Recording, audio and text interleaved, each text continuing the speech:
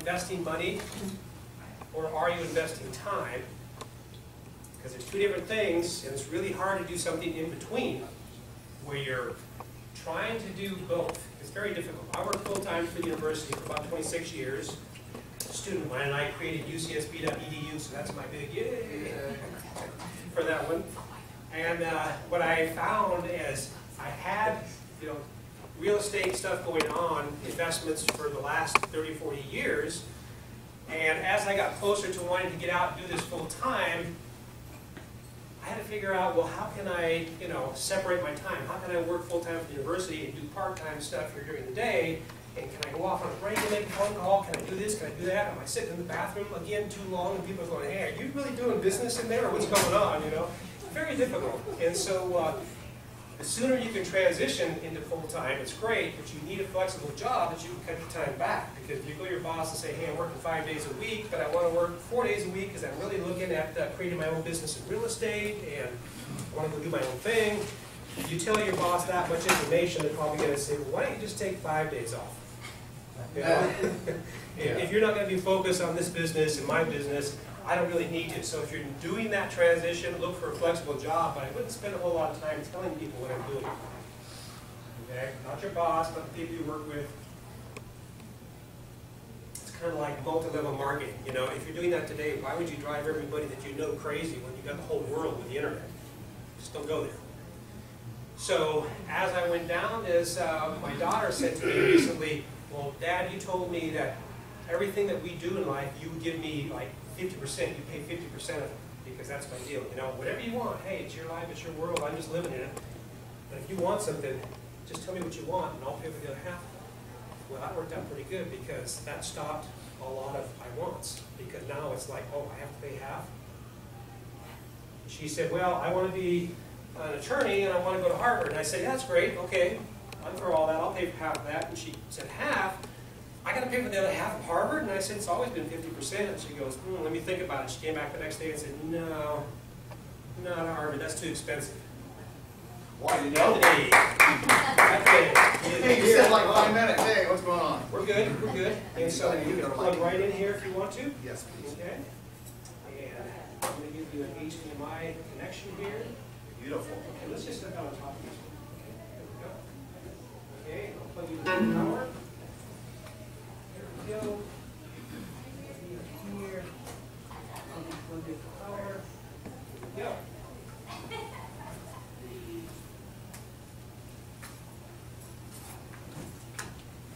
Okay. And uh, you got your and all that? Yeah. You're good, so remind me about that story, because it's a good ending. Okay, thank you, Anthony, very much. My name's Anthony Patrick, and I flip properties, and it's a job. I don't care what anybody says, it's a job. Okay, how many of here have uh, flipped any homes at all? Is it hard? Easy? Ton of work. Ton of work, right? How many want to learn how to flip homes the correct way? Okay. One of the things I teach is about building your power team. Because you can't build your dream until you build your team. Very important. Understand that? So let me get the presentation going.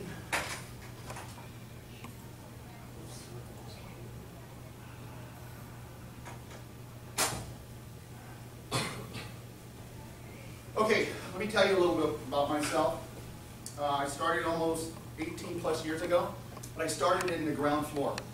What I mean is, I started as a handyman. So my nails, and I didn't have a watch this good back in the days, okay? I didn't dress this nice back in the days. I was rehabbing homes, make sense? But I loved rehabbing homes, because that's how you learn. I started from the mailroom, if you think. I started from the mailroom. I started from the rehab room. I got bit by uh, black widows, bugs, rats, you name it, I've been. Also became a home inspector. That was great too, during the boom. I learned the business. So now I'm teaching the business. Why? Because I started from the bottom. I can tell you everything about a rehab. What's the most important part of a flip? The purchase price. Would it be the purchase price or the rehab? It's the rehab, guys. Because look at, if you buy the house for X amount, right? Mm-hmm. And you sell it for X amount, and your profit is thirty thousand dollars, and your rehab is twenty-five and it goes over twenty thousand dollars, how much you make it? You lost money, correct? Mm-hmm. Who makes money still? The contractor? Is there any contractors in here? Mm-hmm. Good, I can talk crap about you. The uh-huh. first three letters is con. Contractors. Okay? I didn't want to be a contractor because contractors. Don't ever let them see another man's bid. Because they'll always say, let me see the bid you have. And they'll bid you low, and then they'll work you, order you up. So be careful on that, okay? I teach from the heart because I love what I do.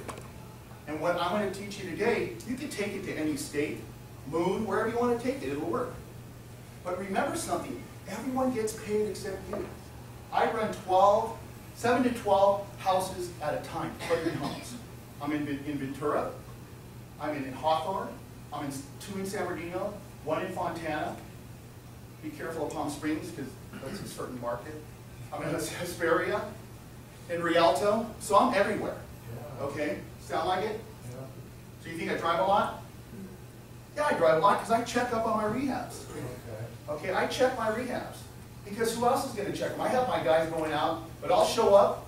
Anybody see the movie Mr. Deeds? Where that butler showed up all of a sudden like that? I show up like that, it's like, oh, you're here? I hear them talking crap about me too. It's like, but you know what? I show up with tacos. I show up with water. I show up with burritos. I show up with stuff too. Okay? You gotta remember something. If I am doing a rehab and I'm your contractor, and I say it's fifty thousand dollars, and we put a, and make sure it's a contractor's, and you see him bonded, we're gonna go over all that. How much do you give me up front? I want twenty-five percent. I want twenty-five percent. That's too much? How much are you gonna give me? That's why I'm here to teach. You give them two to three thousand dollars to start the job. Then after two weeks, then you give them twenty-five percent. Then after probably a good two other weeks, and if everything's in place and where you want it, you give them fifty percent, and then you do not, do not, do not give them any money until the job is blue taped. What's blue taped? You blue tape the home. You walk through, and, oh, you know what? This wall's bad, blue tape. You know what I hate? You ever go into these nice homes and, the, uh, and all these, they're like crooked and stuff like that? They're not, the outlets are all like crooked, they don't look good? Who picks the house out? The woman or the man? You better say woman. You didn't say nothing. I do. Remember, you always have the last word. Remember that, sir. Yes, dear. Okay, here we go. Keep your rehab simple. Right? What does that mean? The do's and don'ts. Paint, flooring, kitchen, landscaping, knobs. This is what you want. This is your first rehab. A lot of you haven't flipped a home. You want to flip a home because you can make millions of dollars selling real estate. Flip and go broke. Remember, Linda, I said that? Flip and go broke. Think about what I'm saying and you'll understand later. Don't. If you're not a seasoned investor like me, I flipped, my team and I flipped over a thousand homes. From Texas to Phoenix to Southern California. That's a lot of homes. That's a lot of work. That's a lot of checks. That's a lot of water bills, landscaping bills, insurance. If you buy, I'm gonna keep, I won't pick on you anymore, right? Okay, so I buy a house, right, tomorrow, and close escrow, cash. Do I need insurance on the house? Yeah, Okay. You get insurance on the house? yeah. Does the escrow care if you get insurance on the house? No. No. Because it's a cash deal. Yeah. You know how many people on my bus tour, I'll say, how many people have insurance on their home right now? And they're like, "Hey, we need insurance on our home. Oh, what happens when the house bill burns down, Yeah. right? What happens to that disgruntled guy that sees you building his house? He's like, God, I lost that house because those realtors made, oh, I'm gonna burn your house down. There's psycho people out there. You didn't watch the paper? No additional, let's see, tear downs, kitchen remodel, roofs, foundation, stuff like that, be careful, those can tear a deal apart. The key to the deal, giving big value. Like that? How about that? That to that, does that look nice? Like, uh, oh, right, really nice? The tree is gone. The tree's gone. You gotta, I, okay, don't tell anybody, my wife's not here, but I use her red heel shoes sometimes when I go into a house, because I gotta think like a woman. So I put her pumps on, walk around. Okay, I do, don't tell her. she's What a visual. Got a visual, got a visual? I got that vision. Easy. So I got the, no, no.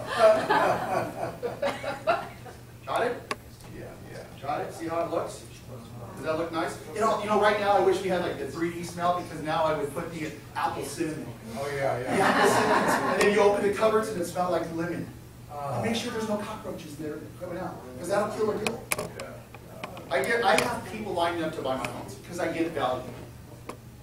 And don't let all these rehab shows and tell you, oh, you know what, I want to paint this wall green and this, well, no, all my houses are copycats, because I can use the same product in the next house and the same paint.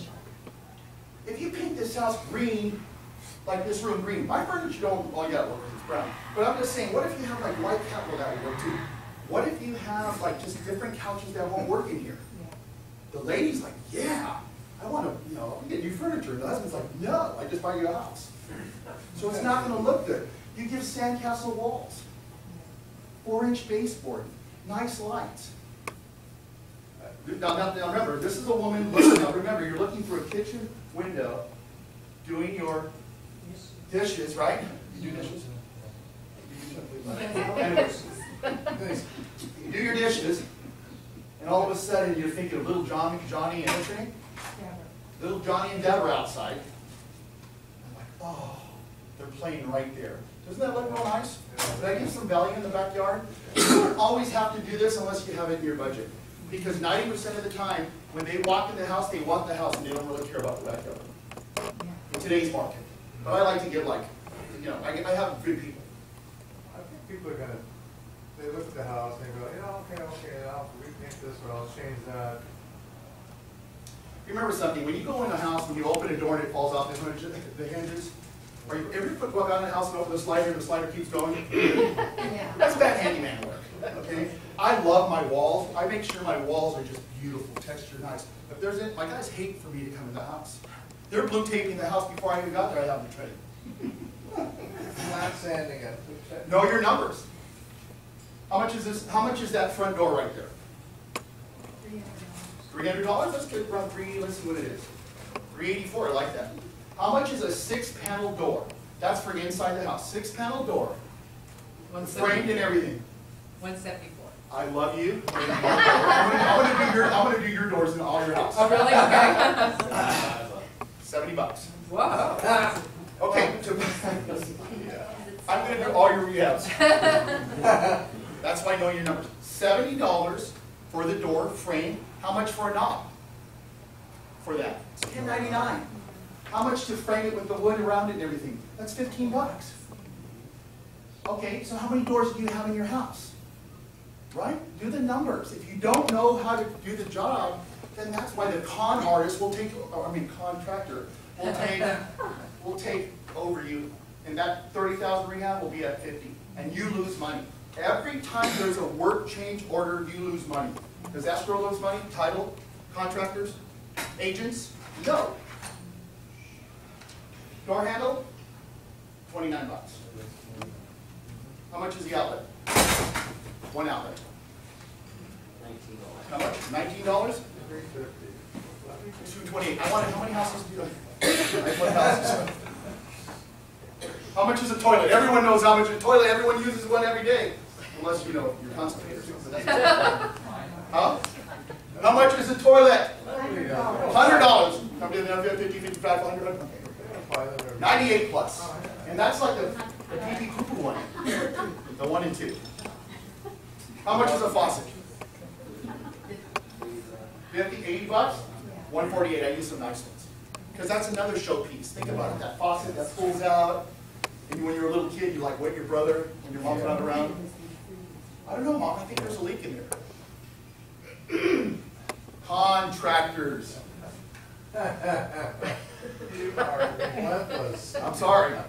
And they know me too, but they love me though, because I help, you know what? My contractors love me, because if they need money or extra money, because they've done so many flips, I sponsor their daughters in cheerleading, I do all this.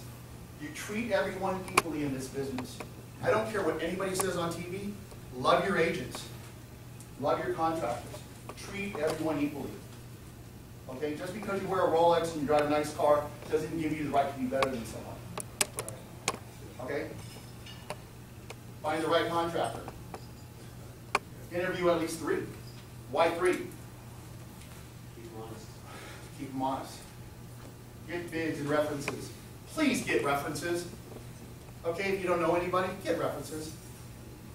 Are they licensed? Why is it insured? Why make sure they're licensed? Huh? They went, they took a test, they're good, they're licensed, so that way they have a business or they can use, lose a license. Very important, are they insured? Because you can sue them. And bonded, why? Why is the bonded the most important thing? No, because that means they, you can sue them for a bond that most likely is at a million dollars. Okay? Bonded, these are very important. Working with contractors, get everything in writing. I would go through the house and come through the house again, because I hate when you go through it, it's like, oh, I didn't see that, you didn't see that. Now it's your word against his. Establish a timeline and pay line. I already said, talked about the pay and the progress. Stay in contact. Okay, you have a house, you have a house going, what was your name? Vince? Vince? Vince? You have a house going, you buy it, how, in, in one week, how many times do you stop by the house? Now, you have three hundred thousand of your money cash in that house, and you're gonna make forty grand. Your eyes are like, yes, forty grand. Yeah. How many times a week are you gonna go by that house? Every day? That's, a- that's really good, but I don't think you have enough time to, to do that. Let's, let's go maybe t- twice a week, twice, a- week, depending where the house is, correct? Let's just say, most likely you're not buying a house. Remember, you live where you wanna live, and you invest where it makes sense. Does that make sense? Different. So there's a bunch of houses in Santa Barbara for two hundred and fifty thousand dollars out here, right? No. Where? You're like, where? On the beach? The mortgage. I, I had my app going through, it's like, two million, three million, you know what I mean? Going by on the way here, it's like, this app's not working correctly. You go in my area, two fifty, one fifty, one sixty, yeah. Right? Yeah, yeah. Do you think million dollar homes take longer to sell than a three hundred thousand dollar home? Yes. Absolutely. Is there a lot of people that could afford a three million dollar home? No. So we think, right? Let's think what's going on in the business. Your first rehab. Get a home inspector. If you don't know what you're doing, get a home inspector. There's guys out there who'll do it for like one fifty and inspect the home to make sure the bones are okay. Roofing, can a roof kill a deal? Yeah. Foundation kill a deal? Yeah. Can, what else can kill a deal? Windows?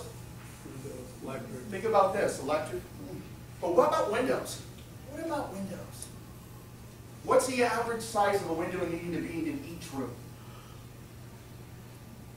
It has to open twenty-one inches. You know why?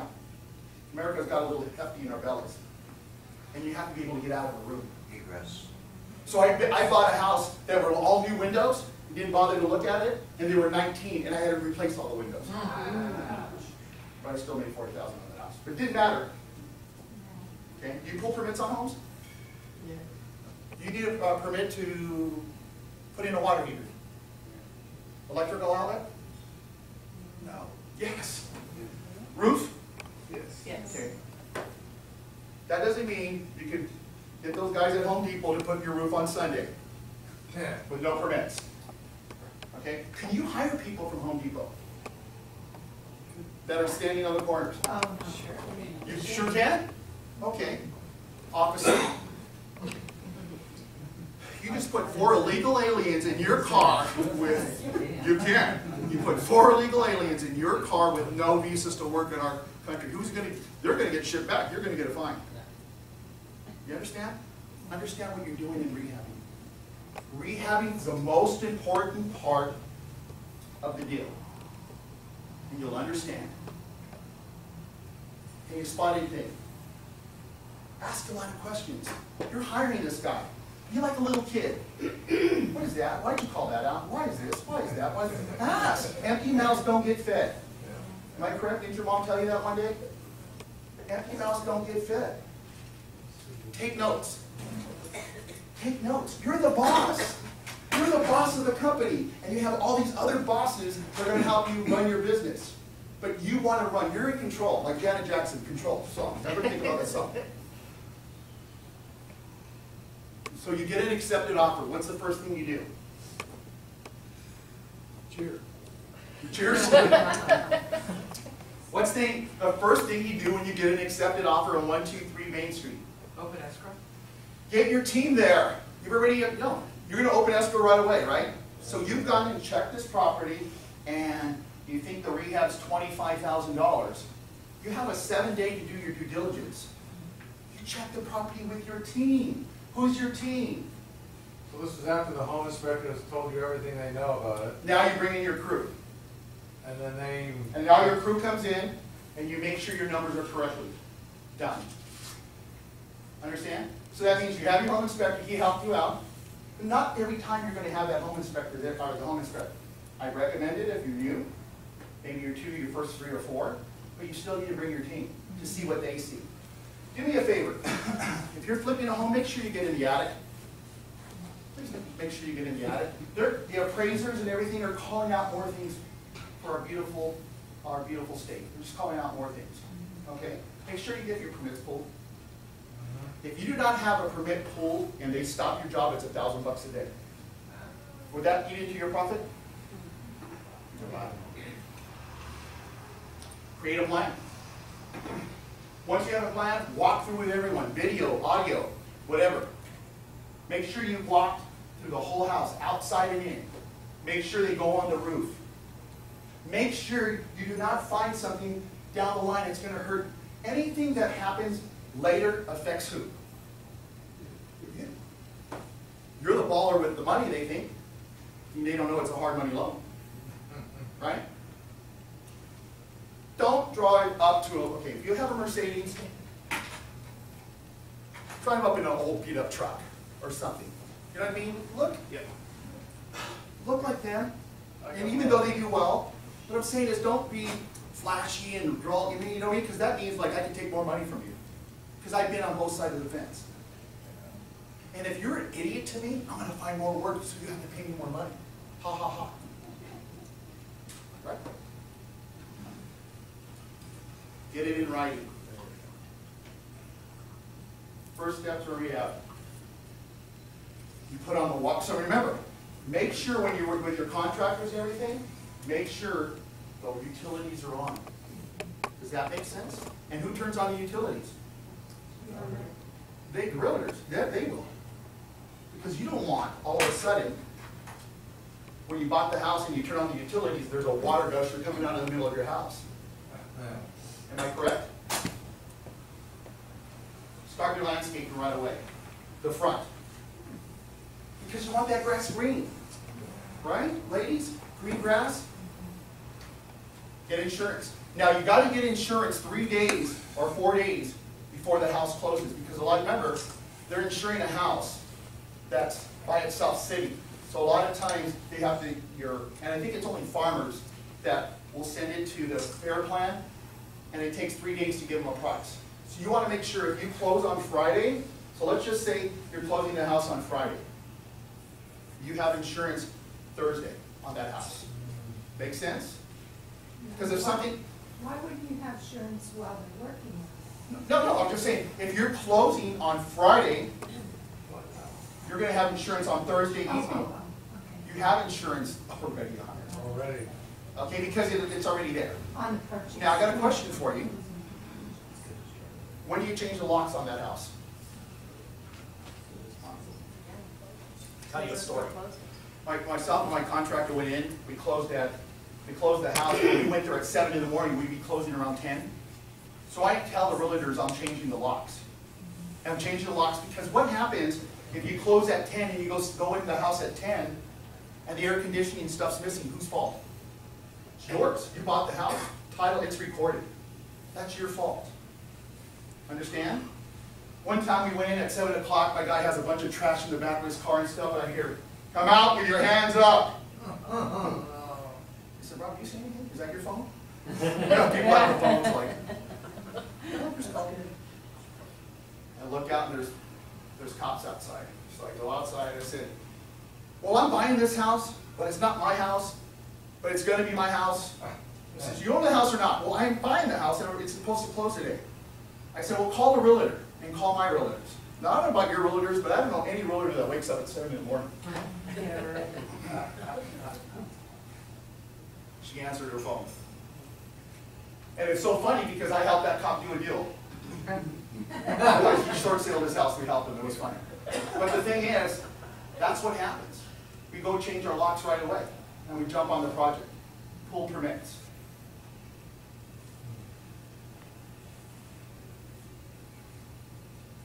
Keep a maintenance record and schedule on everything you're doing. Find out when things are, uh, should, uh, be done and follow up. Hey, uh, you know, I know the house is demoed and everything, so when are you starting to paint? It's your, it's your project, guys. It's your, it's your baby. For your men, pretend it's your car that you're fixing up when you were a teenager, putting those rims on it and everything, making it look nice, mm-hmm. right? That's how you think about it, men, right? Yeah. Women, pretend it's that blanket that you were, I used to crochet too, but anyways. Pretend it was something that you like, you really like, but it's, it's gonna make you money. It's gonna make you money. Keep your eye on your budget, and that's very hard to do. The budget's very important. If you have thirty thousand dollars to play with, and your budget goes over ten thousand, who lost money? You did. Every time they ask for more, your wallet gets more empty. And is it really, really, I know so many people that do rehabs, and they'll only make five thousand dollars after four or five months. Do we have a thirty day, do we have a ninety day flip rule into effect if you're a first time home buyer and you can't sell the house for ninety-one days? We do. That's into effect for your first time home buyers. Keep that in mind. What's the average rehab taking right now? Flipping homes. What do you think? From, from beginning to the sale of the house, what's the average? Six months? six Uh, five months. Five to four, five, five months. Why? Because I see escrows going to forty-five days. Forty-five day, I don't know anything about a thirty-day escrow right now. They're forty-five to sixty-day escrows, I'm looking. I'm not lying. And they're falling out a couple times.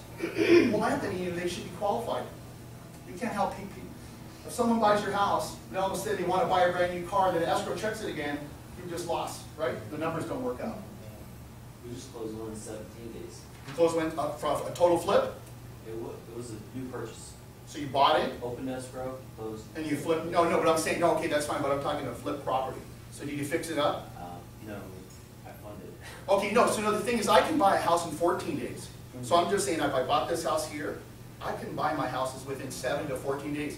I can buy a house in one day if all the stars line up correctly.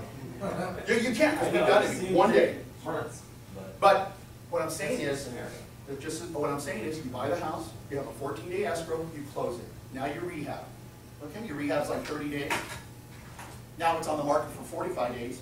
Uh, Excuse me, it's on the market for a week. Now it's an escrow for forty-five days. Does that make sense? You're flipping a project. That. I think that's what I'm getting at. That's another mortgage payment at least. Remember, hard money, doesn't say easy money. I want to use hard money. Think about this. I'm not shy. I bought a house in Upland, June of last year, two hundred thousand. I barely sold it last Friday. I made forty thousand dollars. Really? If I didn't have hard money, if I had hard money, I would have made negative like ten thousand dollars. There you Yes, negative ten thousand dollars. Think about what you're doing when it says hard money. That house I bought, it was at the corner 7-Eleven right here, a laundromat. There was another house here, and over here was a, uh, it was an apartment complex. The city wanted a hundred percent, uh, an envelope, or excuse me, a letter to give to the, uh, uh, the lender that says it's a hundred percent rebuild letter. So if the house burnt down, that it would, they could rebuild it again for hundred percent. But they were only giving me 50-50. So finally, a venture, uh, a VA loan came in, they didn't need that letter, and we sold it. One year, that would throw your, what did I say, nine out of ten people are gone. from flipping homes. You notice these flipping these homes commercials are like six o'clock, five o'clock, four in the morning? Right, right. Desperate people